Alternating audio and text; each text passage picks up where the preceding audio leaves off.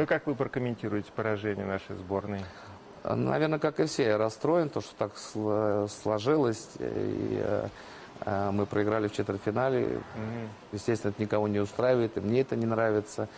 Но все-таки надо сделать какие-то вывод- выводы и двигаться вперед, потому что А гла- главное, какие? главным э, соревнованием это все-таки будет Олимпиада в Сочи в 2014 году, к чему эта команда как раз и готовится.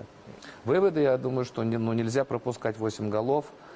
Если на сегодняшнем хоккее, если ты пропускаешь 8 голов, выиграть фактически невозможно. Поэтому я считаю, что у нас очень сильные ребята и сильная команда. А тренер? И, и сильный тренер, да, я к этому вел, что, понимаете, Белединов, он сильный тренер. То, что у него что-то не получилось, но э, очень печально, нам это не нравится, но надо его поддерживать и делать так, чтобы в Сочи выступили намного лучше. Ну, это обидно еще, что проиграли вот э, американцу, в общем, как-то... Ну, до этого выиграли у них. стратегическому Ну, партнеру. но в этом же турнире выиграли у них все-таки. Да, да. Все-таки выиграли у них, да. Конечно, была неудачная игра, но э, я, я еще раз говорю, конечно, это всем неприятно, но Белединов не стал из одной игры хуже тренером. То есть все-таки он сильный специалист. Ну, да. Не политкорректно, но без злого умысла.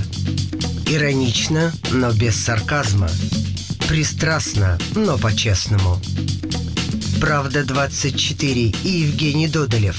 С понедельника по четверг в 19.30 на телеканале Москва 24.